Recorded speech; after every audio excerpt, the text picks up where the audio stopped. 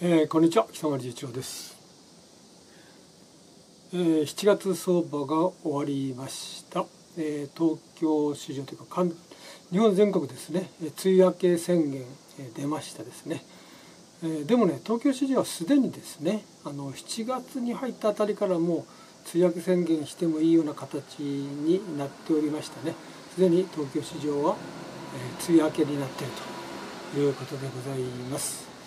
チャートでご覧いただきましょうかね、えチャートはこんな感じですね。えー、っとこれは7月です。7月ね。ちょっとねこれ、えー、真ん中あ、えー、そうですね。これ真ん中よりちょっと後でしたかね。あの一時急落しましたけれども、まあ、元に戻ったということですね。私は前々からですね78月相場はですねあの多くの投資家がね思ってるほど悪化はしないということをね申し上げてきました。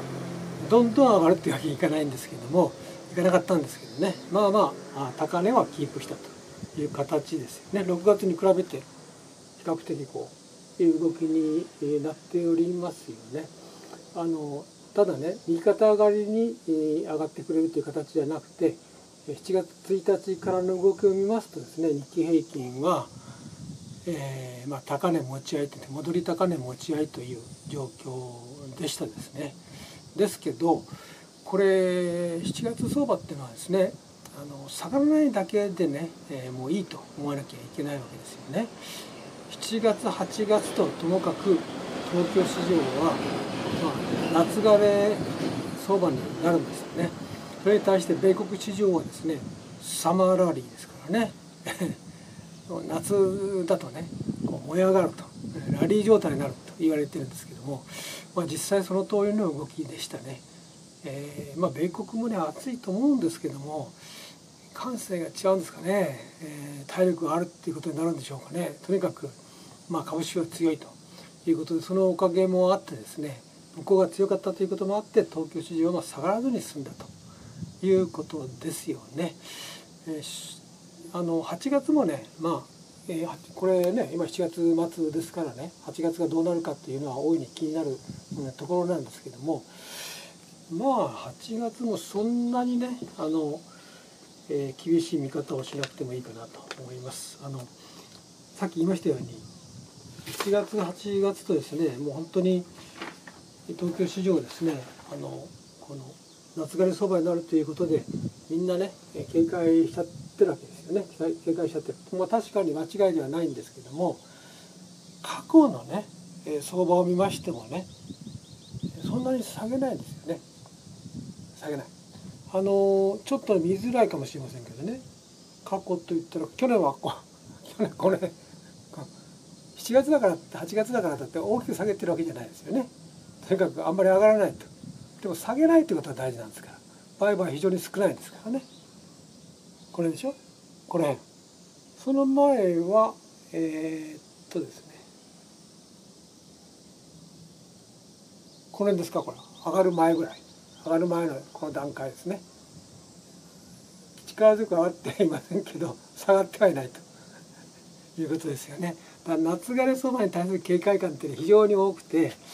あのまあね、えー、それこそ日々の出来高がですね10億株にいかない売買代金がですね2億2兆円ですね2兆円を割り込んだままとかねそういう状態にはなるんですよ。でねそれでも下げないのになぜかということなんですけども株を買う人も少ないんだけれども売る人も少ないということになるんですね。あの売るだって株ってほら極端に言うとどんなに悪い状況になっても俺は株売らないって言ってみんながね売らないでいると別に下げないわけですから。だから夏枯れ状態は積極的に買う人も非常に少ないんだけれどもここで売らなきゃとか言ってね売る人も少ないんですよ。売る人が少ないからあのまあ下げない、まあ、絶対ね下げないとは言いませんけれども 時々下げることもあるんですけどこの市場がよくね夏枯れでもうどうしようもないと。いう話にこうなるんですけど、えー、ねそれほど心配するようなことではないということですよね。過去のデータから見ましてね。だってあれですもんね、えー、8月になると当然高校野球盛り上がりますよね。盛り上がるし高校野球と 株とどう関係があるんだって言われるんですけどなんとなくねなんとなく高校野球見ちゃう人が多いんですよね。株ああそれあとか言ってね。あ株あったんだっけ感じですよね。それと、まあ、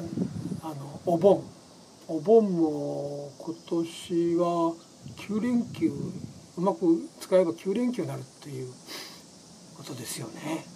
えー、でもまあその間株式市場ありますから、えー、ね、株をやる人もいると思うんですけども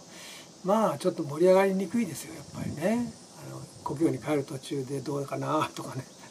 あの運転しながらね。日経平均どうなんだろうなとか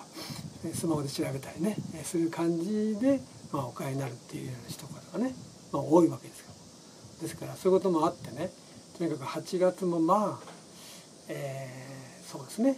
パッとしないというか、えー、なんですけど再三言いますけどパッとしなくてもいいわけですね。あのとにかくあんまり下がらなきゃいいわけですから